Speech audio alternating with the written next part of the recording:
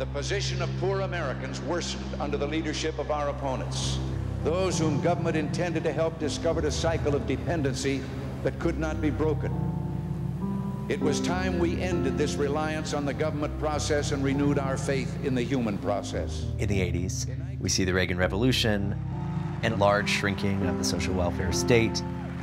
We don't celebrate Dependence Day on the 4th of July.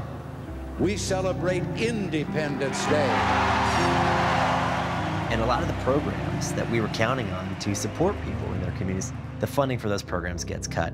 And what you start to see almost right away is people who have been living successfully in permanent housing with some support. When that support is taken away, those people start to lose their housing and they begin to hit the streets.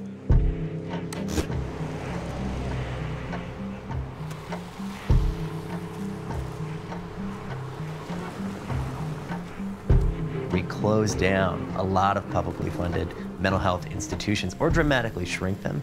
And you have a massive number of veterans from the Vietnam War. They're coming home with untreated PTSD, serious physical health conditions that the VA does not even begin to understand at that time. And it takes a few years, but we ultimately start to see a lot of those veterans starting to fall through the safety net and hit the streets as well. Those two things create kind of a perfect storm in this country where you now have a massive group of people all at once falling out of housing, not having the support they need to get rehoused.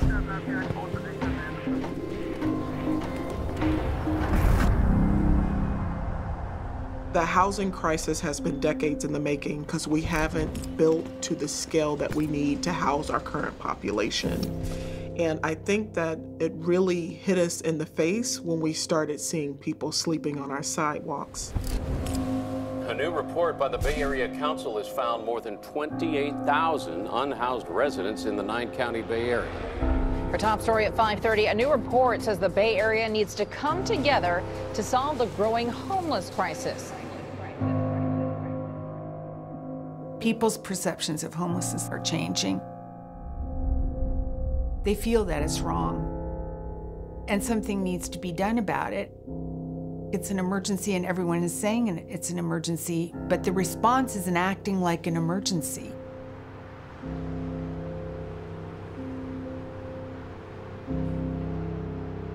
People ask me, is this where I live? No, it's not where I live, it's where I stay.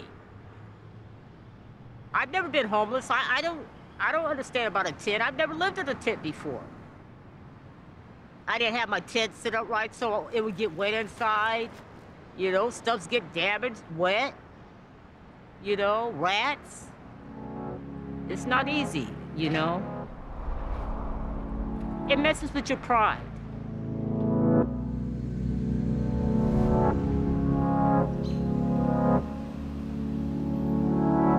I'd learned how to live out there. Because you're on high alert out there. You don't know what's going to be coming. It's scary, you know? Especially when you're 60 years old. I was just watching myself just kind of deteriorate. I didn't know where to go anymore. I had applied for housing, but I was on waiting lists. You know, I mean, there's waiting lists to get on a waiting list. At this point in time, it is increasingly distressing, and really, despite many efforts to stop it, is actually only growing. If you ask people what is sort of ground zero for homelessness in the United States, my guess is 75% of people are going to tell you Los Angeles. The other 25% are probably going to say San Francisco. In both of those communities, although their systems are actually housing record numbers of people, it is true that homelessness is more visible and more pervasive than it's ever been before.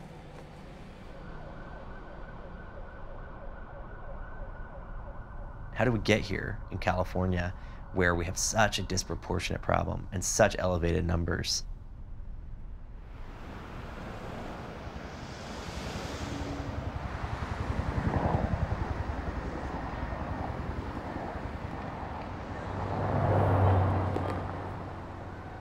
We have had double digit increases in homelessness four out of the last five years. And because we have a long history of not providing the infrastructure needed to address homelessness, when people became homeless, they ended up directly on our sidewalks. The issue with homelessness is that people don't have a place to live because they can't afford the housing that's out there. And more and more people can't afford the housing that's out there. It's really a convergence of many different things happening at once. First of all, California has been underbuilding for over 40 years. Now combined with the fact that people who used to want to move into the suburbs are now moving into cities. And so suddenly there's a big press of people with higher incomes who want to move into cities, but we don't have enough housing. And at exactly that time, we have a severe labor shortage of people in construction. So construction costs have gone through the roof.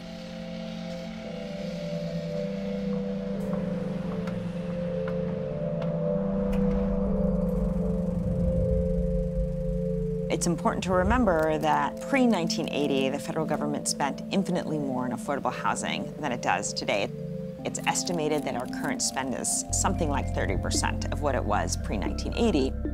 At its heart, this is a crisis caused by a disinvestment in affordable housing. It used to be that there was plenty of housing available for people with incomes below 80,000 a year. Now the percentage of housing available for those incomes is shrinking rapidly as people with higher incomes are moving into the area. You know, California is one of the most expensive housing markets in the country, which means if you hit a crisis, a health crisis, an unemployment crisis, whatever it is, it's a lot easier to lose your housing.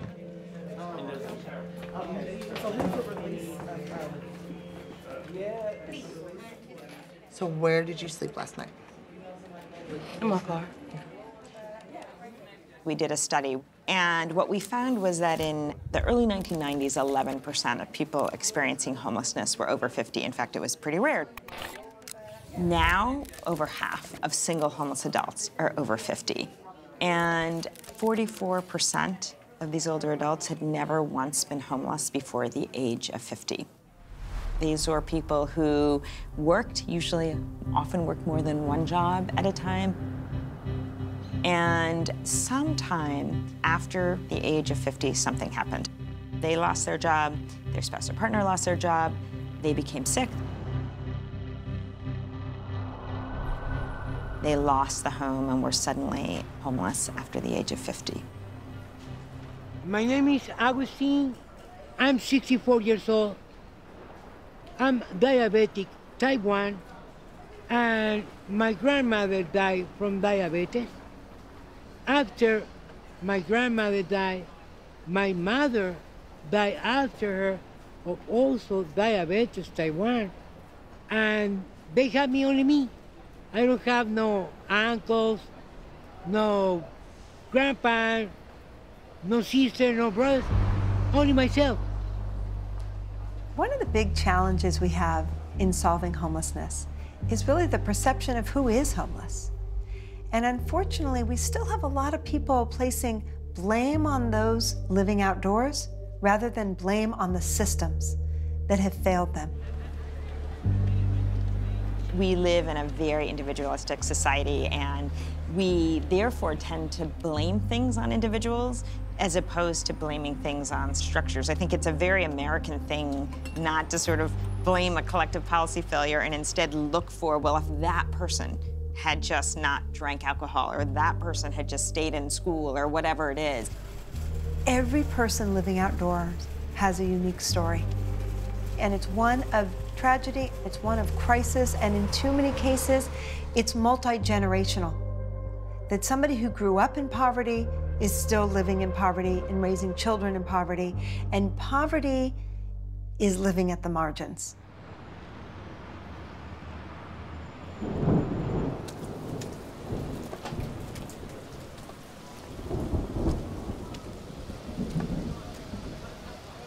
When you look at the data of those who are experiencing homelessness across the United States, you will note that while black people make up roughly 12% of the population, they make up nearly 40% of those experiencing homelessness.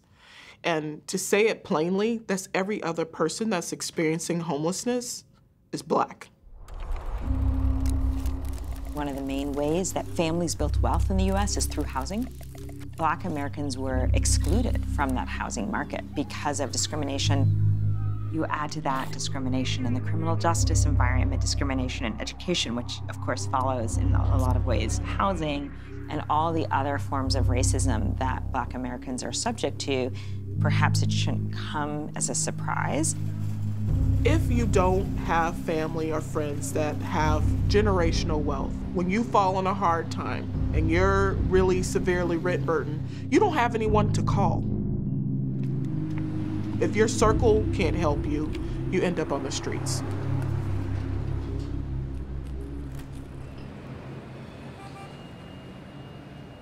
People who are homeless are really vulnerable. We know that this group of people is just so much sicker. They really can't take care of their health needs. And so people wind up in the hospitals at very, very high rates. Special food. Not very good for old people out here. Yeah, What's the hardest part? the cold. I can't move. I'm freezing, uh, starving. It's just rough. It's real bad. It'd be too hard at this point to turn my life around. I'm 66. I can't do much of nothing. You know?